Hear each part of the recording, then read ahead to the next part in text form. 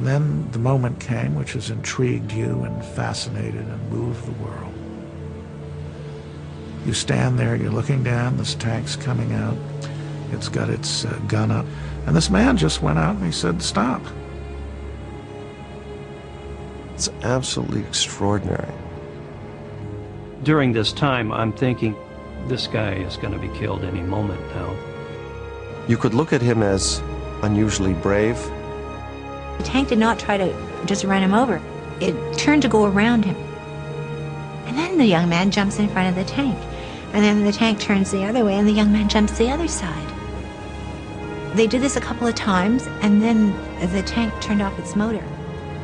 And then it seemed to me that all the tanks turned off their motors because uh, it was really quiet.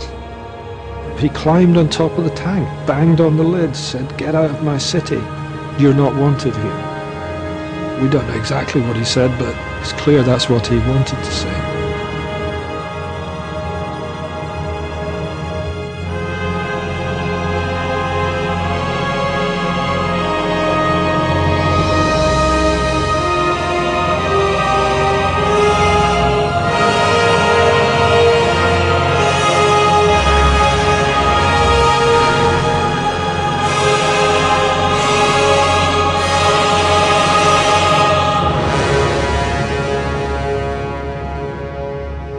What this young man did was in effect change the world.